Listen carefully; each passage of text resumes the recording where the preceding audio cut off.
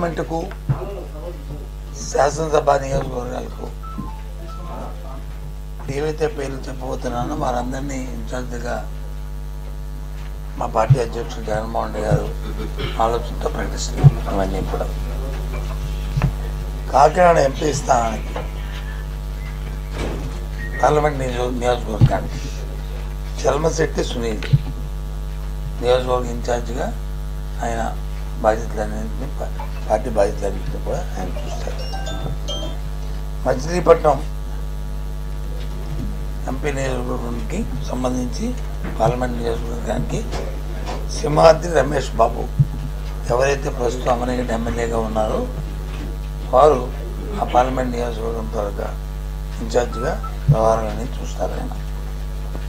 నరసరావుపేట నియోజకవర్గానికి సంబంధించి పార్లమెంట్ నియోజకవర్గం సంబంధించి పి అనిల్ కుమార్ యాదవ్ ఎవరైతే మొన్నటి వరకు మంత్రిగా ఉండి శాసనసభ్యుడిగా నెల్లూరు శాసనసభ కార్పొరేషన్ శాసనసభ్యుడిగా ఉన్నారు ఆయన పార్లమెంటరీ నియోజకవర్గానికి నరసరావుపేటలో ఆ బాధ్యతలన్నీ కూడా ఆయన చూస్తారు. తిరుపతి ఎంపీగా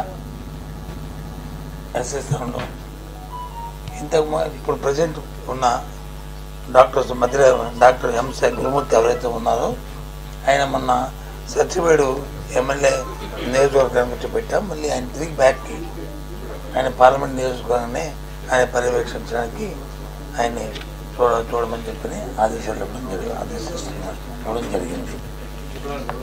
అలాగే అరకు వ్యాలీకి ఎస్టీ శాసనసభ స్థానానికి మొన్న అక్కడున్న పా పా- పార్లమెంటు సభ్యురాలని అక్కడ స్థానం ఆ ఎమ్మెల్యే స్థానాన్ని పర్యవేక్షిస్తుందని చెప్పారు.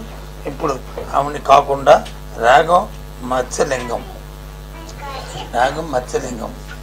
ఆయన్ని ఆ శాసనసభ నియోజకవర్గంలో మరి ఆయన పార్టీ వ్యవహారాలు అన్నీ చూడడానికి వచ్చి ఆయన నియమించడం జరిగింది. అమనిగడ్డికి డాక్టర్ సింహాద్రి చంద్రశేఖర్ ఒక ప్రముఖ వైద్యులు అయిన అంకాలజిస్టు రాష్ట్రంలోనే.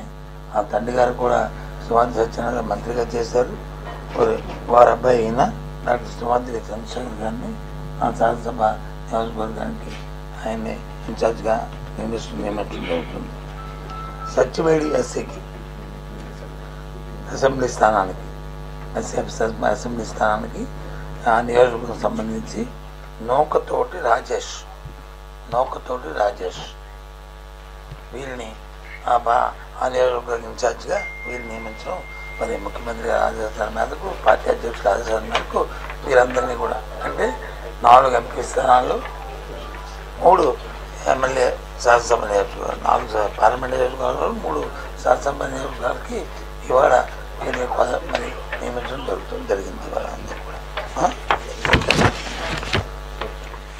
ఇవి ఇవన్నీ కూడా.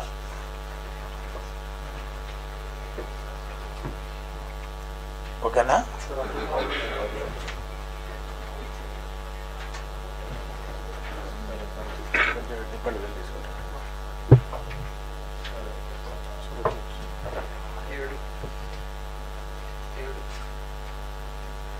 నాలుగు పార్లమెంట్ నియోజకవర్గాలు మూడు శాసనసభ నియోజకవర్గాలు. ఓకేనా?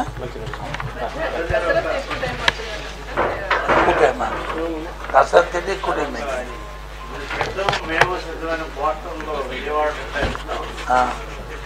నేను సిద్ధం మేము జనసేన విజయవాడ టెక్స్టైల్ మేము సిద్ధం అంటే దేనికి కలిసి సిద్ధం? నాకు దానికి మేము మేము సిద్ధమనేది వచ్చి రాబోయే శాశ్వత ఎన్నికల్లో ఈ ఈ రాష్ట్రంలో ఉన్న ఎన్నికలు జరుగుతున్న నేపథ్యంలో పార్టీ క్యాడర్తో సమాయత్తం చేసుకుంటూ ఎన్నికలు సిద్ధంగా ఉన్నామనేది మన అక్కడ భీముల్లో నుంచి ముఖ్యమంత్రి గారు లక్షలాది కార్యకర్తల్ని ఉద్దేశించి ప్రసంగించి వాదనని సిద్ధం చేశారు. రేపు మూడో తారీఖున వచ్చి నెల్లూరులో వచ్చి మళ్ళీ ఏలూరులో వచ్చి మూడో తారీఖు నాడు అక్కడ కూడా ఆయన కార్యకర్తలందరినీ అక్కడ సమాయత్తం చేస్తూ సిద్ధం చేయబోతున్నారు.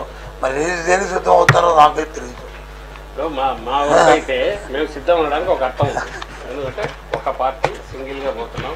నూట డెబ్బై ఐదు స్థానాలకు మేము ఇప్పుడు మరి జనసేన వాళ్ళు ఎన్ని స్థానాలకు పోటీ చేస్తున్నారు? ఎన్ని స్థానాలకు సిద్ధమవుతున్నారు? తెలుగుదేశం పార్టీ ఎన్ని స్థానాలకు సిద్ధమవుతున్నారు ఒకరుగా వస్తున్నందుకు మేము సిద్ధమవడంలో ఒక సవాలు ఉంది. ఆ- వైపు నుంచి అనడంలో ముందు అసలు వాళ్ళు కలిసి వస్తుంటే ఎన్ని స్థానాలకు మొత్తం నూట డెబ్బై ఐదు స్థానాలకు పోటీ చేయని. వాళ్ళు చేయలేని వాళ్ళు. మందలుగా తప్ప కలిసి రాలేని వాళ్ళు. వాళ్ళు దేనికి సిద్ధం అంటున్నారు? ఒకరు మేము సిద్ధం మేము సిద్ధమే అంటే ఇదిగో మేము సంసిద్ధమని ఇంకో జోకర్లాగా మిగిలిపోలే ఆ అర్థం లేని మాట దానికి అసలు. ఇంతకుముందు ఏనన్నట్టు వాళ్ళు అసలు ముందు మా మాది ఎస్ మొత్తం దిగి నిన్న శంకారావం పొందించారు ఈయన మొత్తంగా క్యాడర్ మీటింగ్లో ఒక పక్క ఓ పక్కన లిస్ట్ అనౌన్స్ నూట డెబ్బై ఐదు స్థానాలు ఇరవై ఐదు పార్లమెంట్ ముందు అది తేల్చుకున్నాక వాళ్ళు ఇదో మేము కూటమిగా సిద్ధమంటారా?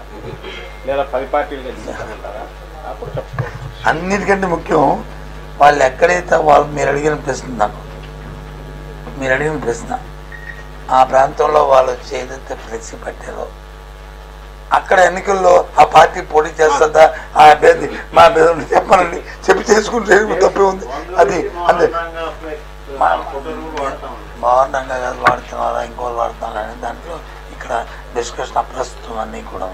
కానీ ఏదైతే సిద్ధమని దీన్ని సిద్ధమని అక్కడ ఆ ప్రాంతంలో వచ్చే వాళ్ళు రైలు ప్రత్యేక పెట్టి మేము దేనికి సిద్ధమని అందుకే మేము అడిగాను. దేనికి సిద్ధమని చెప్పింది? వచ్చిన మార్గం నేను ఏమన్నట్టు ఆ నియోజకవర్గంలో పోటీ మేమైతే ప్రతి బూత్లో మేము సిద్ధం ఉంటాను ప్రతి గ్రామంలో సిద్ధం. ప్రతి నియోజకవర్గంలో సిద్ధం. అక్కడ వైఎస్ఆర్సీపీ సిద్ధం ఉంటుంది. మీరు అక్కడ జనసేన పోటీలో లేని చోట జనసేన సిద్ధం అంటే దానికి సంసిద్ధం దానికి ఏమైనా అర్థం ఉంటుందా? తెలుగుదేశం పార్టీ లేని చోట సంసిద్ధం అంటే అర్థం ఉంటుందా? మొత్తం స్థానాలకు పోటీ చేయలేను మీకు సిద్ధం అంటే దేనికి?